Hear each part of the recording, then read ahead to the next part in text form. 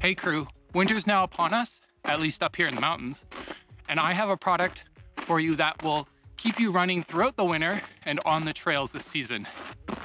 Also, make sure you stay to the end of the video where I share my tip to help keep you comfortable on these cold winter runs.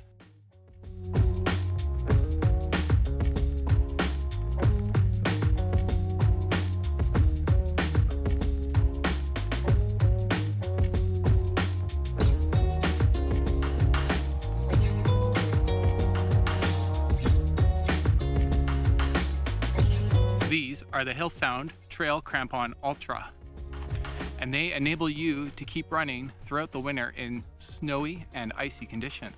They're super quick to put on and take off, allowing you to switch them out mid-run as conditions change. Crampons, spikes, micro spikes, whatever you call them, it sure beats drilling screws into the bottom of your trail runners. These come in at about twice the weight as nano spikes or Yaktrax or other comparable winter traction devices. However, you get much better performance in winter and icy conditions than those comparables. If you're new to the channel, a little bit about myself. I'm an ultra runner and trail run leader with the Vancouver Running Company. An important disclaimer, these crampons weren't given to me. I purchased them with my own money. However, I do get a discount as a run leader. All opinions are my own and nobody's gonna have a chance to review this footage before it's posted on YouTube. So a little bit about the specs for these crampons. They're about $85, 75 American. They're about 422 grams, nearly a pound. You get 18 high strength stainless steel spikes, which are quite deep and get, yield a lot of traction. It also comes with this waterproof carrying case, so you can throw them in your bag when you take them off again. Don't forget to stay to the end of the video where I'll share a tip to keep you comfortable during these cold winter runs. You would think wearing these crampons would slow you down.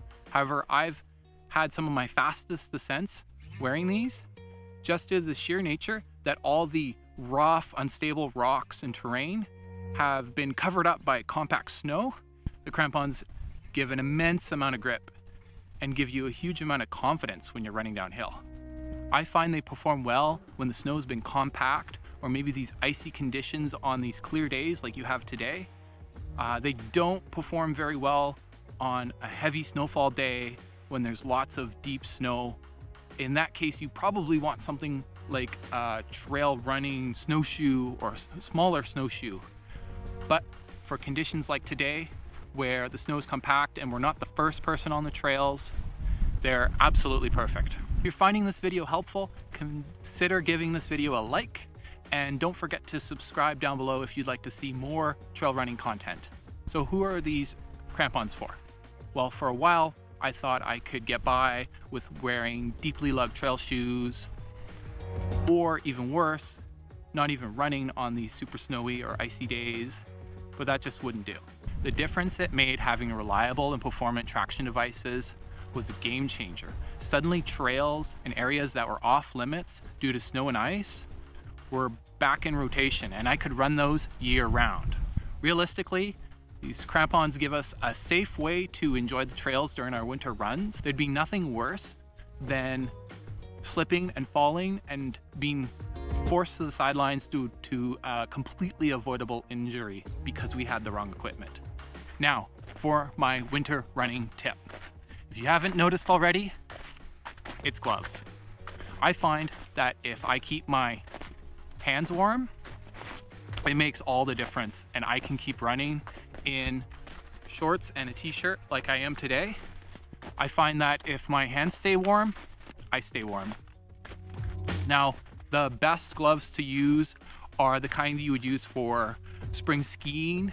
Now, these ones in particular have, they call it E-tip, I believe, and it lets you interact with your smartphone without taking your gloves off, which is really nice. I'll have a link in the description for these as well if you're interested. I'm interested to hear your winter running tips, so feel free to share them down in the comments. Until next time.